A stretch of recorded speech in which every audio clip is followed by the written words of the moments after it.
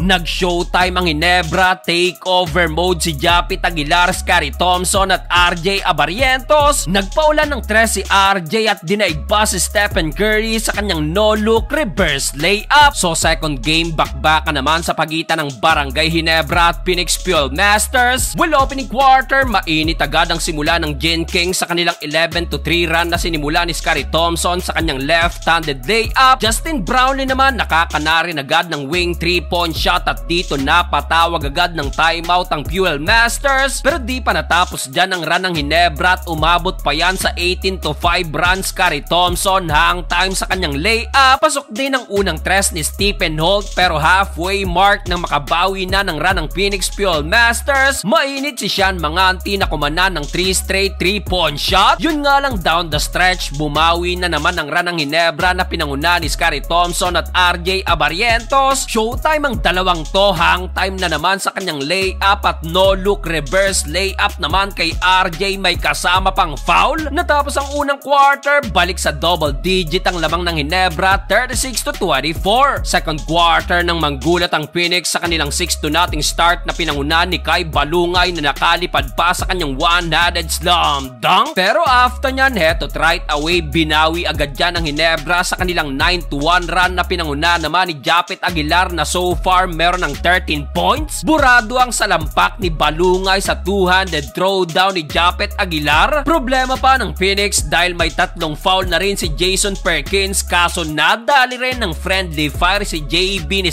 Thompson sa play na to. Kaso nadali rin ng friendly fire si JB ni Thompson sa play na to. Well, bumawi naman sa opensa after nyan si Scotty at kumana ng another 6 straight points including itong tip in. Nangingibabaw si Thompson at dito napitasan niya pa ng kanyang signature rebound si Verano. Dahil dyan natapos ang first half, tambak ng 16 points ang Phoenix 61 to 45. Start of the third quarter, nothing serious dahil dito nakabalik naman si Justin Brownlee. Scary Thompson again, napaka-aggressive sa opensa, nagulangan si Richie Rivero sa play na to and one. Dahil dyan umabot na rin agad ang lamang ng Hinebra sa 20 points kaya naman napa-take over na si Jason Perkins at kumana ng 9 straight points. Well, baba na lang sana ang lamang sa 13 points pero napa-take over naman si JB at muling inangat yan sa 19 points. Kumana pa ng napakainit na 3 straight 3-point shot si RJ Abarientos. Yun nga lang at di na-capitalize siya ng Hinebra kung sa natapos ang third period 15 points pa rin ang lamang 90 to 75. Fourth and final quarter, palitan pa rin ang basket. Japit Aguilar another short stab na agad namang binura ng wing 3-pointer ni Kai Balungay. Off the bench, Raymond Aguilar pasok ang bank shot pero sinagot ulit yan ang ikatlong dunk ni Balungay. Sa laki ng lamang ng Hinebra, halos puro second unit na lang din ang naglaro at sa huli, opisyal nang papasok ang Hinebra sa quarterfinals at malalaglag naman ang Fuel Masters.